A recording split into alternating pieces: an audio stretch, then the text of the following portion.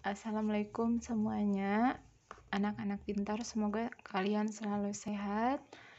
Materi yang akan kita bahas kali ini tentang KPK atau kelipatan persekutuan terkecil dan EPB faktor persekutuan terbesar. Nah, soalnya kita lihat tentukan KPK dari bilangan berikut. Dulu kan kalian waktu SD pernah ya belajar seperti ini. Jadi saya tinggal menjelaskan alternatif penjelas penyelesaian dari 6 dan 15 KPK-nya adalah kalian tentukan kelipatan 6 yaitu 6, 12, 18, 24, 30 dan seterusnya. Kita cari KPK itu yang paling terkecil yang awalnya saja. Kelipatan dari 15 adalah 15, 30, 45 dan seterusnya. Tapi kan di sini kita sudah dapat yang samanya 30. Nah, di sini 30, di sini juga ada 30. Yang lainnya kan tidak ada. Nah, yang paling pertama ketemu adalah di 30. Berarti KPK dari 6 dan 15 adalah 30. Selanjutnya, KPK dari 3, 6, dan 8. Kalian cari kelipatan 3. Ini 3 kelipatan 3 ya. Ini kelipatan 6 dan ini kelipatan 8. Dari ketiga kelipatan ini bertemu yang samanya di mana?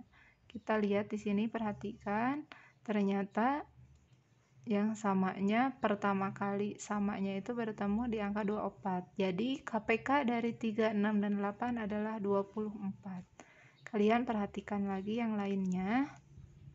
Nah, selanjutnya kalau bilangannya besar Tentukan KPK dari 90 dan 168. Kalau angkanya besar seperti ini, kalian bisa gunakan pohon faktor. Pohon faktornya seperti ini ya.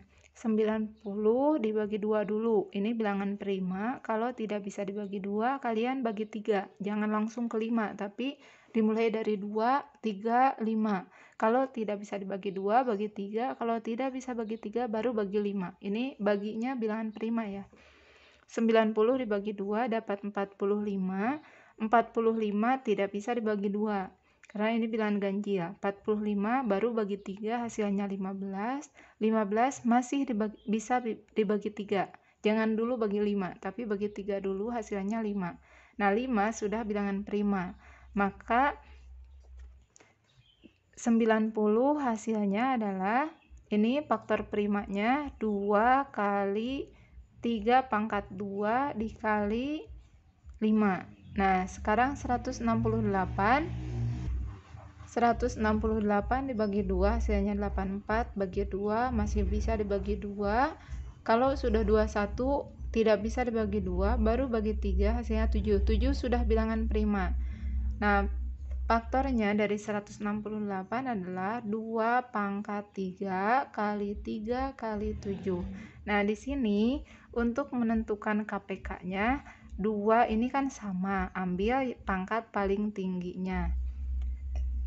Berarti 2 pangkat 3 dikali 3 dengan 3 sama.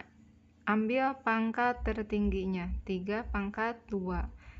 Dikali 5 tidak sama, ini kan sudah, sudah ini sudah.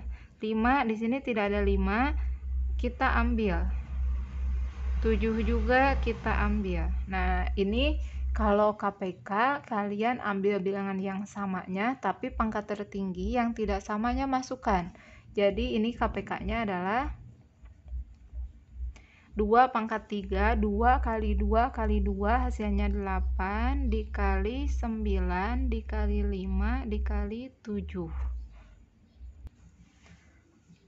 Maka hasilnya adalah 2520 jadi nanti 90 dan 168 jika dilipatkan akan bertemunya di angka 2520 jadi lebih cepat pakai ini pohon faktor dibanding dengan yang tadi ini.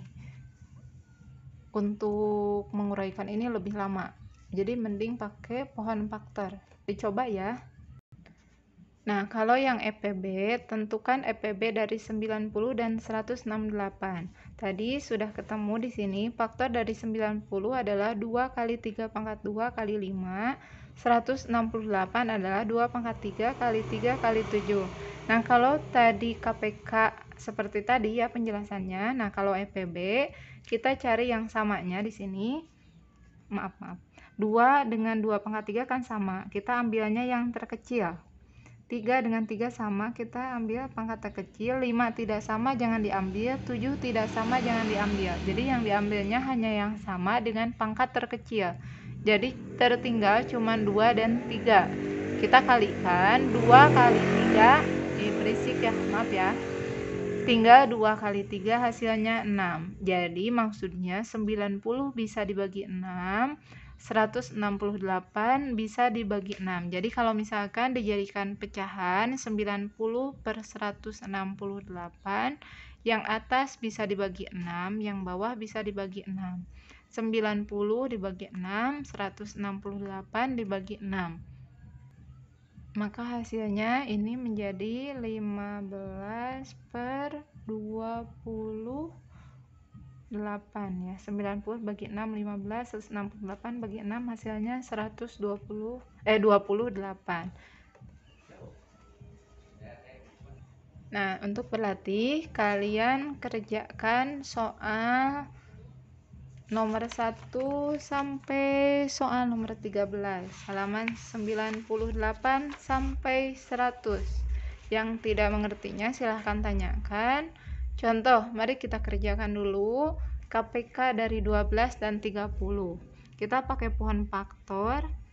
12 bagi 2, 6 bagi 2, 3. Berarti 12 sama dengan 2 pangkat 2 kali 3.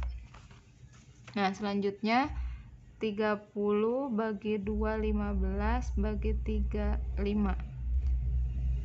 30 sama dengan 2 kali 3 kali 5 KPK nya 2 pangkat 2 dengan 2 kita ambil yang besar. 2 pangkat 2 kali 3 ini kan sama kita ambil 1 kali 3 5 nya tidak sama kita ambil. 2 pangkat 2 4 kali 3 kali 5 4 kali 5 20 kali 3 60 Berarti jawabannya adalah 60. Silahkan kalian kerjakan yang lainnya ya. Selamat mencoba.